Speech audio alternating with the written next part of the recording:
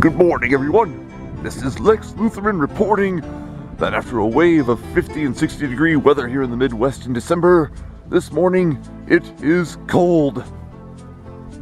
Gee, Mr. Lutheran, you look like you could use something warm. Hmm, Take my hat.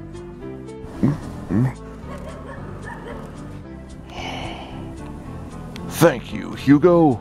You're welcome. It's always better to give than to receive.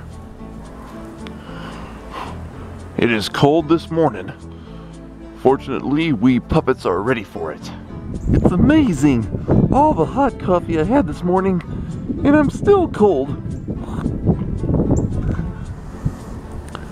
Leeroy, Hmm? is that a new jacket?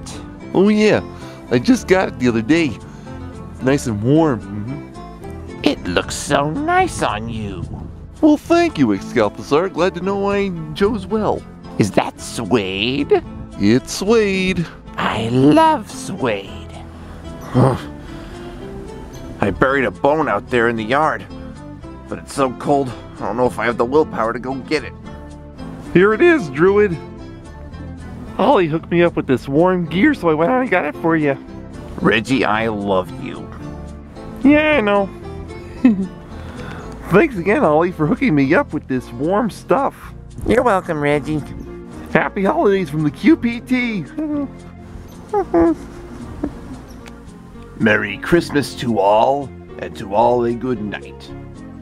Merry Christmas to all, and to all a good flight. Yep, yep.